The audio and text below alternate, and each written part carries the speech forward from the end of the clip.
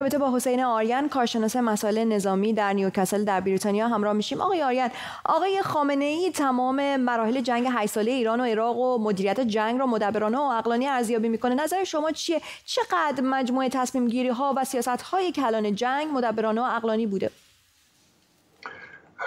در یک کلمه ایشون داره تحریف می‌کنه. از نظر سیاسی وقتی که خرمشهر آزاد شد ایران سه تا گزینه داشت.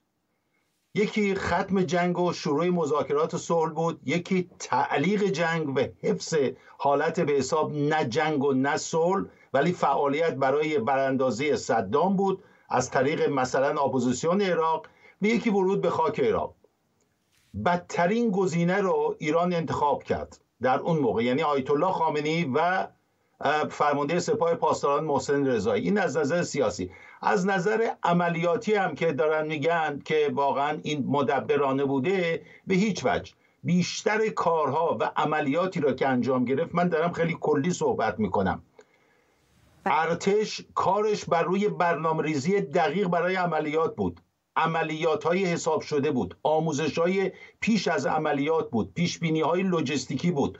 تاکتیک های خوب و کارآمد بود. در مقابل سپاه پاسداران که بعد از آزادی خرمشهر مدیریت جنگ را به دست گرفت تکیهش بر تعبد بود. کمرنگ کردن تخصص استعداد از داوطلبان حمله به صورت امواج انسانی بدون پشتیبانی هوایی و زرهی و آتش توپخانی لازم.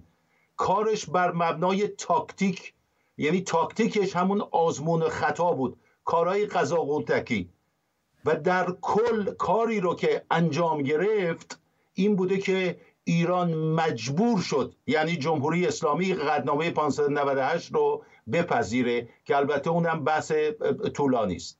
بله. آقای خامنه امروز گفت پیش از جنگ صدام با آمریکایی ها توافق کرده بود. با توجه به تخصص شما و سابقه تحقیقاتی که دارید مهمترین حامیان نظامی رژیم صدام در ابتدای شروع جنگ و پس از آن چه کشورهایی بودند؟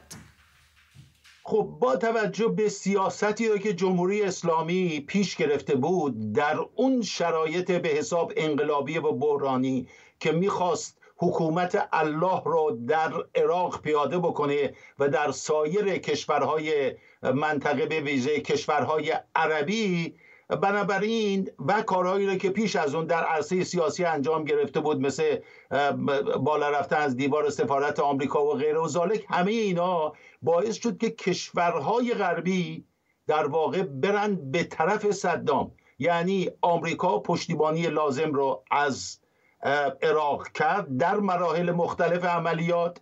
شوروی بعد از یک بره بعد از اون مسئله حزب توده این کار رو انجام داد. فرانسه این کار را کرد بریتانیا این کار را کرد و همینطور بویژه فرانسه که با در اختیار گذاشتن هواپیماهای سوپر و موشکهای اگزست باعث شد که صدام یک استراتژی پنجاه و شش ماهه را در خلیج فارس به عنوان جنگ نفکشا پیاده بکنه که در آخر منتهی شد به اون چرا که ما قطنامه 567 و نوشیدن جام زهر می‌دونیم. متشکرم از توضیحاتتون. حسین آریان کارشناس مسائل نظامی که از نیوکاسل همراه ما بودید.